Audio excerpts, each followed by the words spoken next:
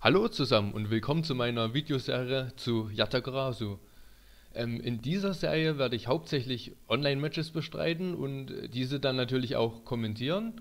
Und nach und nach werde ich mir dann eben auch mal die verschiedenen Charaktere vornehmen, um dann dadurch natürlich die verschiedenen Matchups auch zu lernen. Genau. Heute werden wir uns allerdings erstmal die Replays meiner gestrigen Kämpfe ansehen. Das dürfte für mich auch erstmal leichter sein, als das dann live direkt kommentieren zu müssen. Und darüber hinaus soll das Ansehen der eigenen Kämpfe ja durchaus lehrreich sein. Okay, von daher gehen wir doch mal hierher.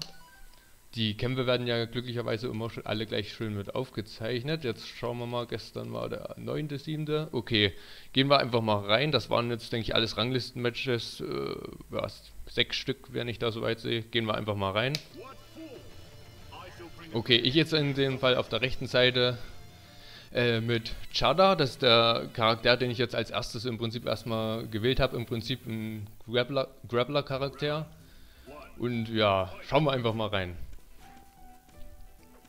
Natürlich am Anfang, wenn man die Gegner noch nicht wirklich kennt, erstmal herauszufinden, auf welcher Distanz fühlt man sich dann am ehesten wohl. Natürlich als Grappler schon grundlegend die Idee näher ranzukommen und den Gegner vielleicht auch irgendwie in eine Ecke oder sowas zu drängen, was hier schon ganz gut aussieht. Okay, Running Grapple hat funktioniert.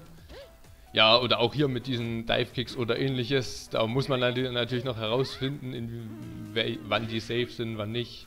Beziehungsweise ob man dann maximal mit einem leichten Schlag oder sowas danach eben countern kann. Das derartige Sachen müssen einfach herausgefunden werden, sage ich mal. Okay, die erste Runde hätten wir schon mal gewonnen. Mal schauen. Okay. Ja, jetzt lande ich hier gleich in der Ecke. Okay.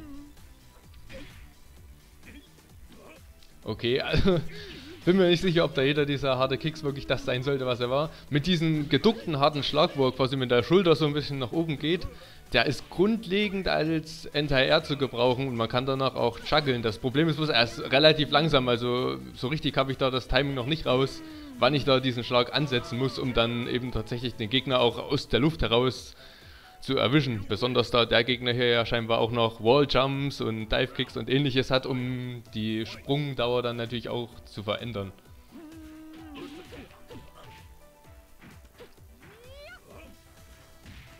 Okay, da werde ich schon wieder ganz schön zurückgedrängt. Okay, einfach mal einen Super rausgemischt, na gut. Hin und wieder muss man sowas halt mal machen. Nein. Uh, uh, uh. Okay, ah, das wird so gewesen sein, genau.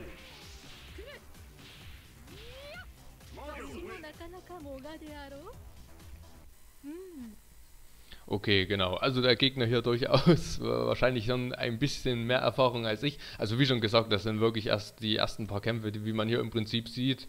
Die, die jetzt hier aufgelistet sind, das dürfen auch so ungefähr alle sein, die ich bis jetzt quasi da bestritten habe. Von daher äh, denke ich mal, ist das okay. Schauen wir uns einfach mal das nächste Video noch an. Genau, hier nochmal ein bisschen hin und her gesprungen, um eventuell dann halt das Delay nochmal anzupassen, was ja bei diesem Spiel vor dem Kampf einfach eingestellt werden kann. Was ja grundlegend eine gute Sache ist. Und da werden wir mal sehen, wie wir gegen den hier rankommen. Okay, dann haben wir uns schon mal in einer Position, wie ich es durchaus mag.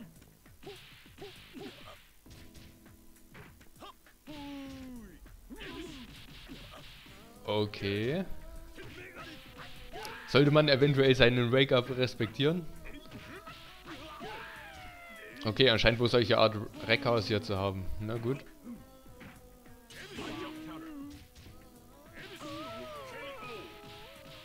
Okay, also einfach zu häufig von diesen Uppercut da getroffen worden. Kann man schon mal so erwähnen. Nun gut.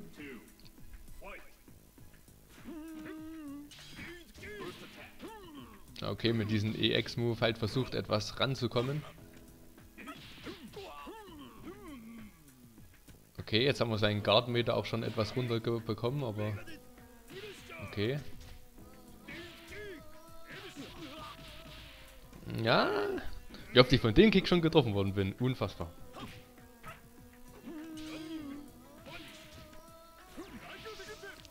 Okay, er hat seinen Super verschwendet. Ah, nicht nah genug ran. Okay, einfach mal einen Crouching Chap. Na gut, kann man ja mal mitbringen. Ja, wie schon gesagt, das ist wirklich alles noch äh, sehr äh, frühzeitig hier. Natürlich auch der Gegner noch in... Oh, okay, sogar schön pariert.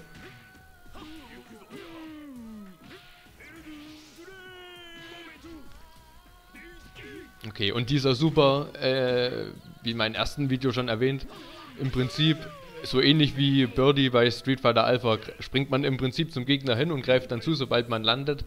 Kann man eventuell, wie ich das soweit gesehen habe, auch so einsetzen, dass man dann äh, tatsächlich das so timet, wenn der Gegner springt, dass man gleichzeitig mit ihm landet. Insofern er halt dann in der Luft quasi nicht herausschlägt. Das wäre dann noch zu überprüfen, inwiefern das da dann möglich ist.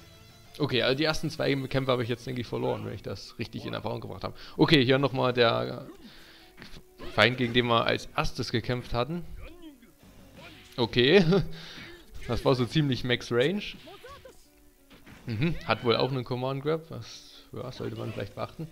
Und hier eben mit diesem Dive Kick und Doppelsprung. Da muss man halt mal schauen, was man dagegen machen kann. Okay, normaler Wurf.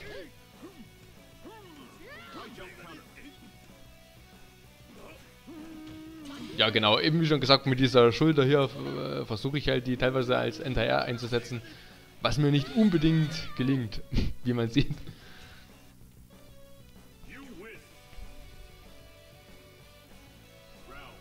Okay, aber immerhin die, immer mal so eine Runde mal mitgewonnen, also ist nicht so, dass man komplett zerstört wird. Das ist schon mal was wert. Ja, das war schon eine ganz ordentliche Kombo hier. Ein paar Overheads.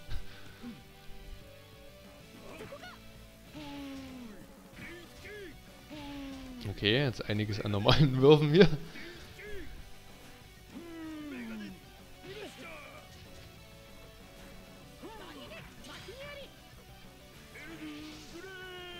Okay, okay, da haben wir tatsächlich mal gemacht. Also hier hat man jetzt auch gesehen, äh, den Move so eingesetzt, dass man quasi mit dem Gegner zusammen dann mehr oder weniger äh, landet könnte vielleicht durchaus eine Taktik sein. Muss man natürlich noch äh, weiter erörtern, inwiefern das dann funktioniert. Schauen wir nochmal ins nächste rein.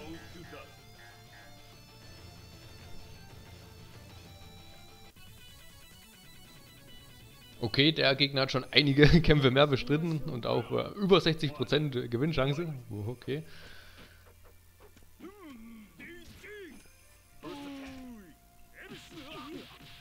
Ja, wieder dieser NDR-Kick, den er jetzt sogar gleich nochmal einfach so eingesetzt hat, also interessant. Okay. Okay, leider nichts aus diesem Guard Crush heraus hergenommen. Das ist eben das, was man mit diesem aufgeladenen Schlag da machen kann. Ja, mal schauen. Das war, denke ich, jetzt EX Air Command Pro. Okay, und die Rekas, die ganz schön Schaden machen, muss man sagen. Okay.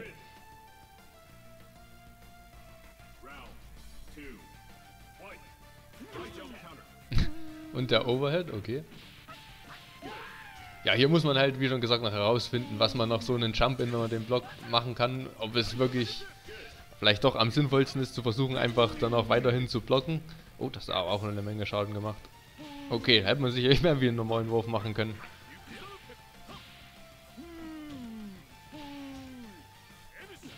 Ach. Okay. Okay, gut, das konnte er dann natürlich nicht mehr blocken. Gut. Einmal mit Chip Damage gewonnen. Das ist doch auch mal was. Okay, ja.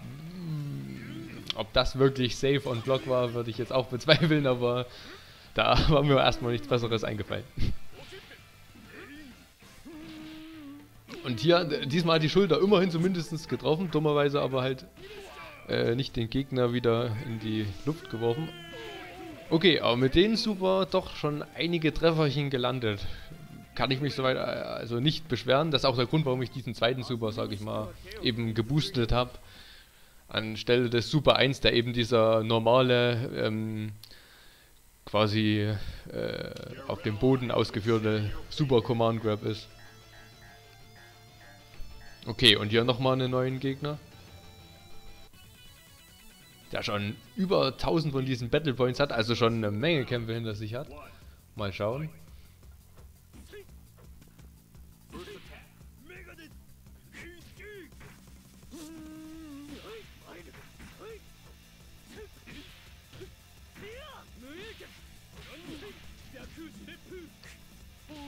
Okay, in die Ecke, da gefällt er mir ganz gut.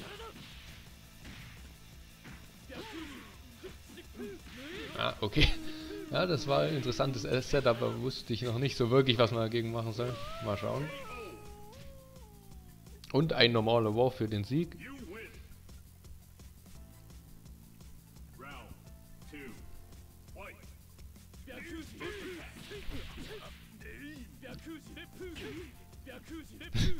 Okay, das hat sich für mich jetzt fast ein bisschen wie bei, mit E-Honda angefühlt.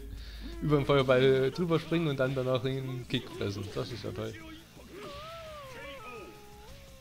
Ja, der hatte durchaus vielleicht schon ein Ticken mehr Erfahrung.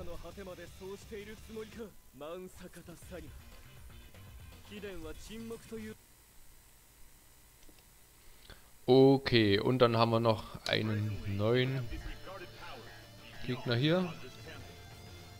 Der wohl auch mit Shada kämpft. Allerdings Super 1 äh, hier nimmt. Okay. Na, werden wir mal sehen.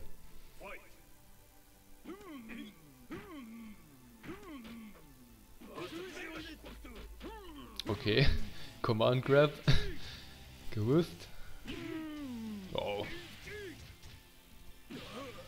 Okay, hat sich treffen lassen. Okay. Instant aus der Luft geholt. Na gut. Ja, weil die erste Runde ist erstmal... Oh, da war natürlich ein guter Wake-Up-Throw von ihm. Das macht... Oh, man den Block, das macht aber auch eine Menge auf das Guard Crash Meter. Na gut. Trotzdem die erste Runde irgendwie noch gewonnen. Ah gut, von der Lebensenergie sah es recht gut aus.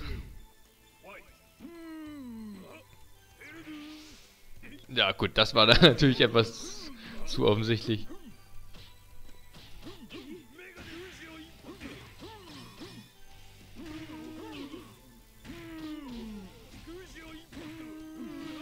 Sah bis jetzt ziemlich schlecht aus, die Runde. Okay, EX, Running Grab. Okay, also die, ja, die zweite Runde hat er durchaus dominiert, dann kann man nicht sagen. Okay, Big Boot gegen Sweep.